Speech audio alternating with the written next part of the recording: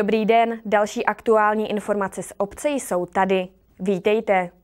Bystřičtí dobrovolní hasiči rozšířili svůj vozový park. Nové auto by mělo sloužit k evakuaci obyvatel v případě nebezpečí. Hasiči ho budou využívat také k přepravě dětí na soutěže v požárním sportu.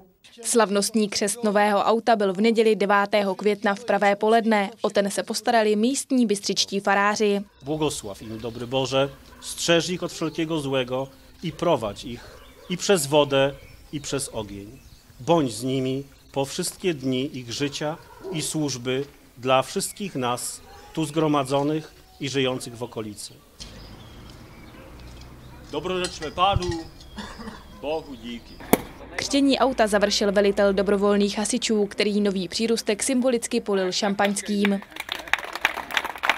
Nové auto získali bystřičtí hasiči díky dotacím z generálního ředitelství hasičského záchraného sboru Moravskosleského kraje a zbylá částka pak byla doplacena z obecního rozpočtu Bystřice. Celkové náklady na automobil byly 1,5 milionu korun. Naše jednotka sboru dobrovolných hasičů je obohacena o další článek v jejím vozovém parku moderní Mercedes Transporter v hasičské terminologie dopravní automobil. Byl to běh na dlouhou tráť, dvouletá záležitost počínaje vyhlášením dotačního titulu, dotační výzvy, pak musíte uchopit správně projektovou žádost, napsat ji, odevzdat, pak samozřejmě nejsložitější etapa, nejsložitější fáze očekávání na výsledek pak konečně ten slastný pocit, že to vyšlo. Nové dopravní auto nahradilo v původním vozovém parku hned dva automobily, které už měly své odsloužené a nevyhovovaly technickým stavem. Obec musela pravidelně investovat nemalé finanční částky do jejich údržby. Nové vozidlo už má stejné parametry jako dopravní automobil profesionálních hasičů. Je to Mercedes Sprinter na podvozku L2Z, to znamená, že je zvýšený, je to stála čtyřkolka, jakoby náho na všechny čtyři,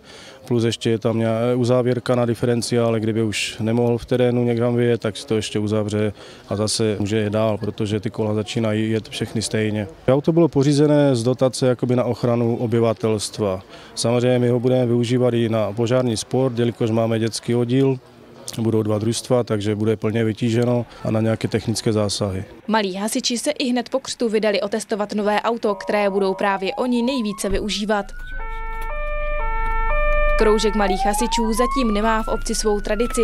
Zájem o požární sport však mezi dětmi stoupá. Od loňského roku, kdy byl kroužek prvním rokem v Bystřici, tak evidujeme nárůst počtu zájemců. Loni jsme měli 9 dětí v kroužku, z toho byla jedna dívka a letos už máme nějakých 22 dětí, jedna dívka stále navštěvuje kroužek. Přestože to vypadá, že kroužek hasičů je pouze sezónní záležitostí, program je pro malé členy připravený po celý rok. V zimním období se věnujeme hlavně nějaké osvětě pre, prevence požární a taky uzlům. A v letním období se připravujeme na soutěže v požárním útoku. Loňské léto jsme objeli čtyři soutěže, z toho jednu jsme dokonce vyhráli. Letos máme v plánu se účastnit zhruba pěti až sedmi soutěží a startovat už budou nejspíš dvě družstva. Kluci, co nejraději děláte v kroužku?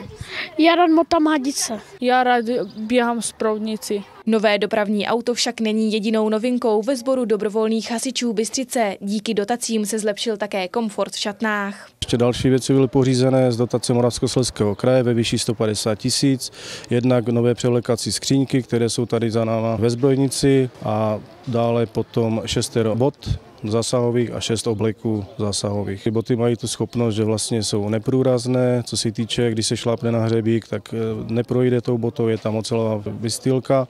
Jsou protipořezové, ohledně motorové pily, voděodolné, pohodlné a těžké. Během pár let došlo na hasičské stanici bystřických dobrovolných hasičů k výrazné modernizaci techniky, včetně jejich zázemí. To vše povede ke zkvalitnění výjezdů, což ocení především občané, kteří budou jejich služby potřebovat.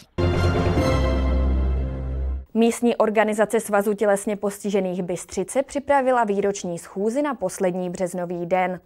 S malým spožděním se ohlédněme za handicapovanými občany, kteří do posledního místa zaplnili restauraci Z plus Z v centru obce.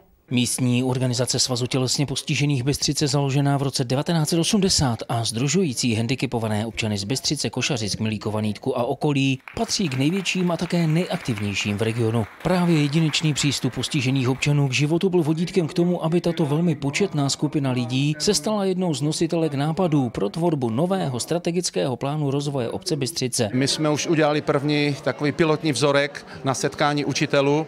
Eh, nyní je druhý pokus takovou jednodušší formou právě u příležitosti výroční schůze Svazu tělesně postižených. No a chceme k tomuto sběru dat, k získávání informací, to znamená k té zpětné vazbě, k zapojení veřejnosti do tvorby toho důležitého dokumentu, využít i obrovský potenciál, který skýtají naše vlajkové lodi. To znamená Den obce Bystřice, Mezinárodní svatojanský festival, spolu u stolu, prostě těch informací chceme získat pokud možno co nejvíc. Jsme si vědomi toho, že ne všechno se povede zrealizovat, ale chceme slyšet to, čemu se říká Vox Populi. My jsme nabídli více než stovce účastníků této výroční schůze pohlednici. Na jejím štěle je určitá symbolika, že bychom všichni měli táhnout za jeden pro vás, za naší Bystřici. Na druhé straně byla prozba, aby se naši spolupčané vyjádřili v tom smyslu, co je třeba udělat, aby se nám všem žilo lépe. Všichni přítomní přistoupili k tvorbě budoucnosti obce Bystřice a regionu zodpovědně tak, jako ke všemu, co dělají. Združování je především o tom, aby ti lidé, ti invalidé, kteří normálně nemají možnost se někde sejít, mají obavy ze zdravotních důvodů někam chodit, že se dostanou mezi zdravotně postižené, čili mezi své a tam se cítí dobře. Členové místní organizace jsou i přes různá zdravotní omezení činorodí a během roku pořádají několik velkých společných akcí. Máme na podzim ty naše slavnosti, kdy se ta parta sejde, pobaví se, zatancuje si. No a na druhé straně i sám sportovní den, který zase je celodenní akci, kde prostě jsme v přírodě, kde si ověříme, zda jsme ještě schopni nějakého sportu. Je to hezké pobavení a využití aspoň jednoho dne za tímto účelem. Ze všech výročních zpráv členů výboru bylo patrné, že vedení místní organizace funguje na výbornou, což se odráží v celkové atmosféře mezi zdravotně postiženými občany, kteří i přes svůj handicap žijí naplno. Opět po roce si mohly děti v Bystřici zapojit do oblíbeného LEGO projektu. Od pátku do soboty stavěli město podle toho, jak ho viděli ve svých očích. Svou dvoudenní snahu pak ukázali rodičům na nedělním slavnostním odhalení. Desítky setů stavebnic a půl milionu kostiček z lega putují už od roku 2010 po celé České republice. Každý týden si své město mohou postavit děti v jiném městě nebo obci. Zázemí pro stavbu Lego města v Bystřici bylo ve staré tělocvičně České školy. Zorganizovali jsme jej proto, protože už loni byl realizován a byl velmi populární. Bylo to pro polskou školu, letos jsme se rozhodli udělat stejný projekt pro českou školu. Tento projekt už působí vlastně na veřejnosti dávno, není to žádná komerční záležitost. Je to aktivita jedné misijní společnosti, která v Německu působí a chtěla tímto nabídnout dětem určitou alternativu, ať nevysedávají počítačových obrazovek. Jedním z cílů zakladatelů této myšlenky bylo probudit v dětech kreativitu a také, aby komunikovali se svými vrstevníky osobně a nikoliv přes počítače a mobily. Je to velmi zajímavý projekt z toho důvodu, že děti si to užívají, ale taktéž i instruktoři, kteří jim pomáhají stavět ty stavebnice. Děti si můžou stavět Lego sety podle stavebnicových návodů, ale také si můžou dělat pochopitelně své vlastní stavby. Zapojit do toho tu svou kreativitu a hned vidíte, jak to dítě to cítí, dá tam ty své nápady, dá tam svou ideu, dá tam své názory. Samozřejmě pochopitelně nechybí ani kostel, jako doména celého toho městečka. Na maximálně čtyři děti dohlížel jeden instruktor, který jim pomáhal a staral se také o to, aby se kostičky z různých setů nepomíchaly. Do letošního LEGO projektu se zapojili také děti se zrakovým postižením. Všichni společně postavili město, ve kterém bylo letiště s několika letadly, fotbalové hřiště, hasičská zbrojnice, obytné domy a kostely. V LEGO městě nemohla chybět dopravní infrastruktura s vlaky a spoustou automobilů. Dvoudenní úsilí dětí pak organizátoři dali definitivně dohromady a všechny stavby slavnostně všem odhalili v neděli odpoledne. Po slavnostním odhalení mohli děti ukázat rodičům, co všechno postavili a také si se svým veledílkem chvíli pohrát. Jako překvapení pro ně organizátoři připravili veliký Lego dort. Ten nebyl výjimečně složený z Lego kostiček, ale děti ho mohli doopravdy sníst. 40 dětí mělo k dispozici 239 setů. Ty téměř všechny vystavěli během dvou dní. To vše pak organizátoři museli během jednoho večera kostičku po kostičce rozložit zpátky do krabiček tak, aby opět za týden si stejně jako bystrické děti s legem mohly hrát zase jiné děti v jiném městě.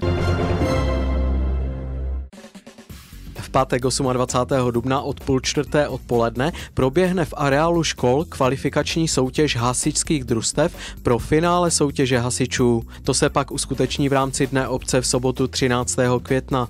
Kromě zápolení těch nejlepších hasičů, návštěvníky Dne obce čeká bohatý program, který vyvrcholí koncertem legendárního Olympiku. Sledujte následující bystřický report a dozvíte se více. Bystřický report je u konce. Mějte se hezky, na viděnou.